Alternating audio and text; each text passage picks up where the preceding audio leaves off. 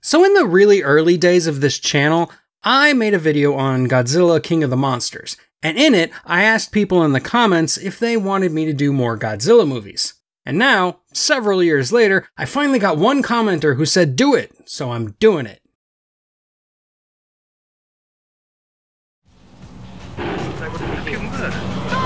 All you'll ever be.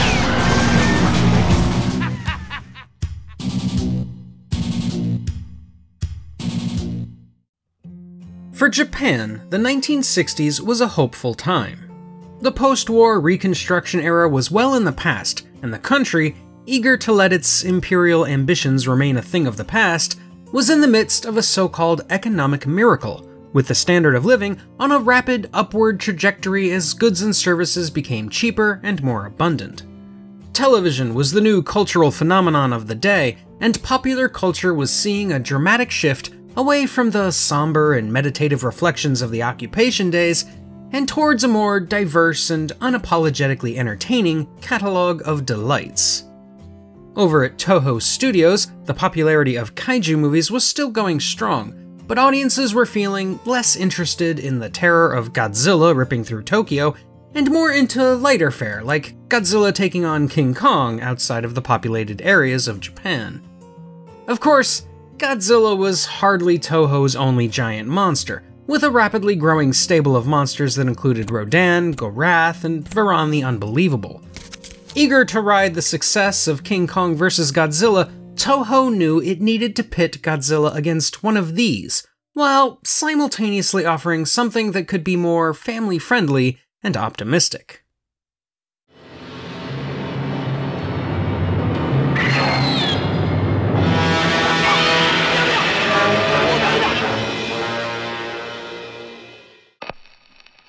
Following a brutal typhoon, a giant egg washes up on the beach and is promptly purchased by greedy businessmen intent on turning it into a theme park attraction. The intrepid reporter Ichiro Sakai, however, is on the case, and just after he learns the egg really belongs to Mothra, another familiar monster appears from beneath the ruined sands to wreak havoc. Sakai, along with the photographer Junko and scientist Professor Miura, then seeks the help of Mothra to stop the rampaging dinosaur. But how can they convince her when humans refuse to return her egg? And how could she possibly stop the deadly destruction of a determined Godzilla? Ishiro Honda, who had already directed the original Godzilla, King Kong vs. Godzilla, and Mothra, along with many others, was once again put in the director's chair for Mothra vs. Godzilla. He worked closely with screenwriter Shinichi Sekizawa, who had written Battle in Outer Space and Varan the Unbelievable and would later lay the groundwork for the original Ultraman, to turn the basic story treatment into something cohesive that could take advantage of the two men's different strengths. Sekizawa injected humor and lighthearted drama, while Honda supplied the underlying themes. Early scripts were ambitious in scope, including more monster action and city stomping, but with both budget limitations and the operating ethos of making the movie more family friendly, a lot of this was changed, streamlined, and reworked. Perhaps the biggest change was eliminating Rolisica, the fictional nation from Mothra, which was home to the script's primary villains, and then dramatically reworking the final battle, which was between Godzilla and the adult form of Mothra.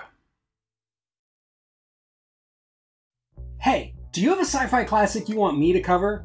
Drop it down in the comments below, and while you're there, don't forget to like and subscribe if you haven't already. If you'd like to support what I do even more, please consider joining my Patreon to get access to bonus content, vote on future topics, and more. If you still haven't gotten enough of me, I'm also the co host of a couple of different podcasts The Streaming Heap and From Here to Paternity, which are available wherever you get your podcasts, and I have a novel called Paradox that is available through Amazon. If all else fails, though, you can always check out my website at emagill.com, where you'll find written reviews of plenty more science fiction classics in both film and literature. Now then, with all that shameless self promotion out of the way, let's move on. The primary human lead of the film, the reporter Ishiro Sakai, is played by Mr. Handsome himself, Akira Takarada, who had previously starred as Ogata in the original Godzilla, and would go on to appear in a few more Godzilla films, along with King Kong Escapes. His rookie photographer, Junko, is played by the rising starlet Yuriko Hoshi, who had previously worked under Honda on Inao, Story of an Iron Arm, in which she had a very minor role, but her scene was cut from the final film.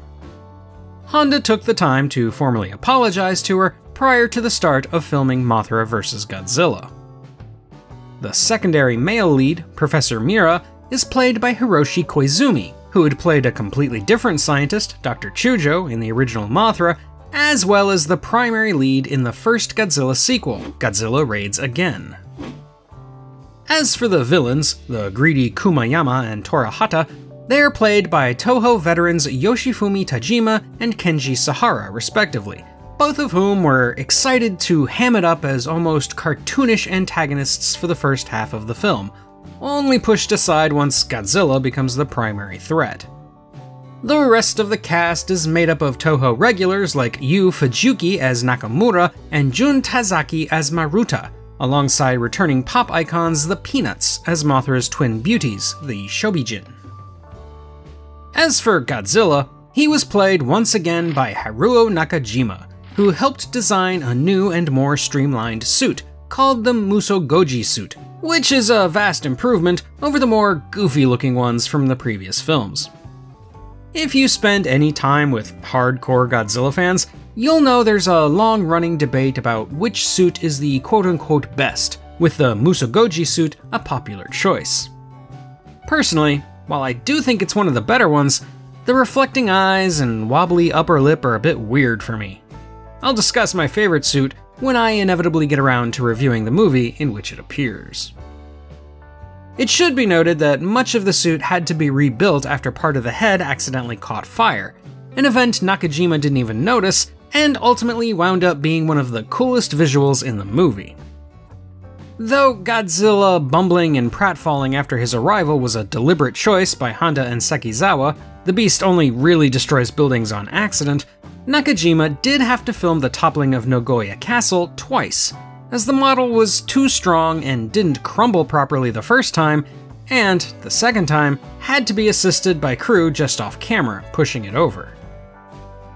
Older suits were used in a few long shots, especially in places where Godzilla would be partially submerged, and though a new Mothra model was built to maintain an appropriate scale with Godzilla, the original was still used in some close ups and in shots that take place on Infant Island. As for the island, Honda originally wanted it to be much bigger and a more devastating set, though that was mostly replaced with the boring papier-mâché rocks we see here, either for budgetary reasons or because Toho didn't want to have anything too disturbing on camera. Oh, and you see this weird turtle thing? It's a whole thing in the fandom. You can even get toys and models of it in Japan, it's wild. Anyway, Special effects coordinator Eiji Tsuburaya, upon seeing one in action in America, insisted that Toho invest in a state of the art optical printer called the Oxberry 1900. For a brief moment, the only two in use anywhere in the world were at Disney and Toho. Tsuburaya needed it to clean up a lot of the compositing work on Mothra vs. Godzilla, and though by modern standards the compositing does look unsophisticated, it was incredible for the time helped along by brilliant scale set design and perfect eyeline matches.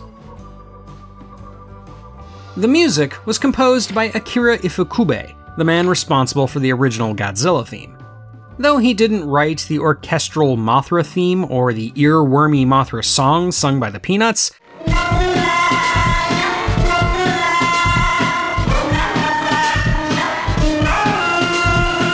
he did find a way to perfectly blend them together with his own work to create one of the best scores of any Godzilla film, if not the best. I really wish I could play some of it for you to show you what I mean, but trust me, this is peak Ifukube.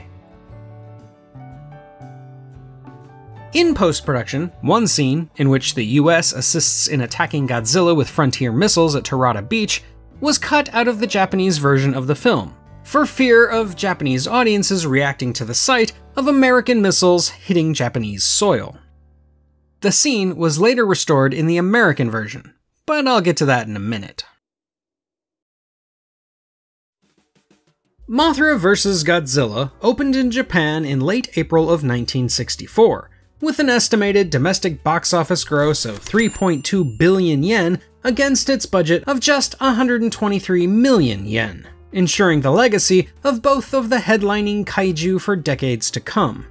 This was good, as while Mothra vs. Godzilla was still wrapping, Toho had already put the pair's next outing, Ghidorah the Three Headed Monster, into production to be released the very same year. In May, American distributor Henry G. Saperstein acquired the rights to distribute the film in America, and then promptly sold them to American International Pictures, which did far less to the movie than was standard for foreign imports at the time. In fact, the American cut, called Godzilla vs. The Thing, is nearly identical to the Japanese one, with the biggest addition being the aforementioned missile attack and a surprisingly good English language dub done by Titra Studios. You may think whatever you like. The egg belongs to the island. I see. And you think I'll just accept your word, is that right? I can't for the life of me find any American box office figures, but it reportedly did very well, especially after it started running on TV, where it served as many young kids' first introduction to Godzilla. Today, Mothra vs. Godzilla is highly regarded as one of the best, if not the best, of the original Godzilla sequels, highlighting the perfect balance between the stark seriousness of the original Godzilla and the goofball entertainment of later Showa era efforts.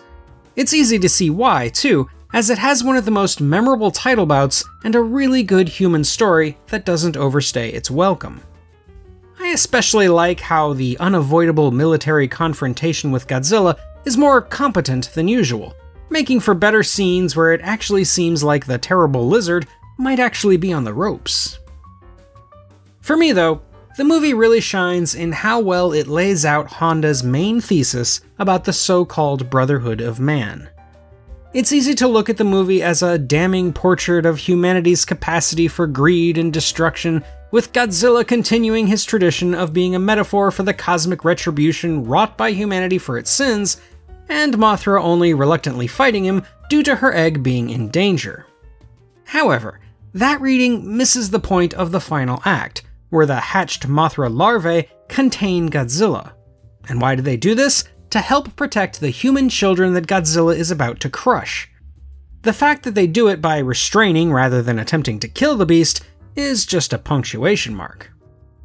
As I see it, this is actually one of Ishiro Honda's most optimistic films in the end. Though he doesn't hold back on the idea that humanity has done great evil, he makes it abundantly clear that the future can save us. It's no coincidence that Mothra's children are the ones to take down the rampaging monster, and if the message isn't clear enough, the last few lines of dialogue are about as unsubtle as a story can get.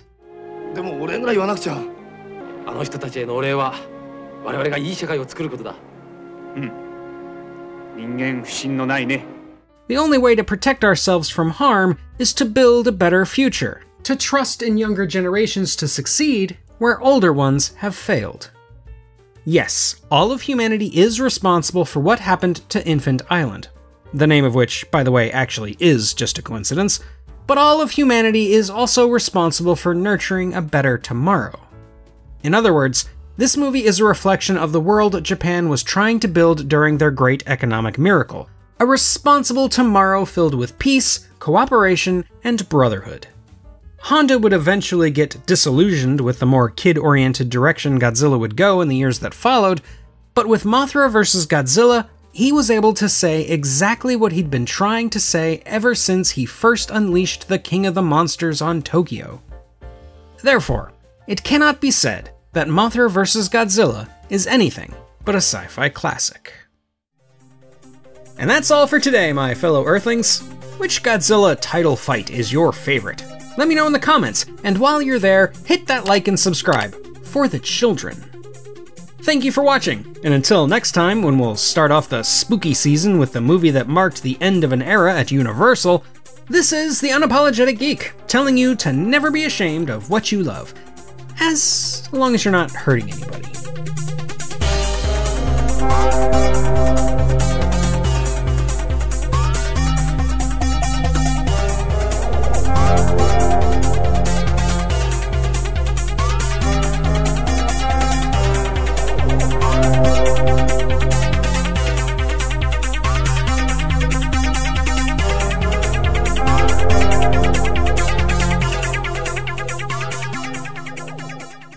My idea is to ask it for assistance against Godzilla. That's it? You're a genius! That's what I think. Do you think I should get a raise?